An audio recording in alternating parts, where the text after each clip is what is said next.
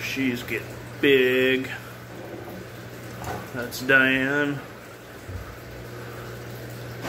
That's Jack Jack. They both just ate tonight. I love them.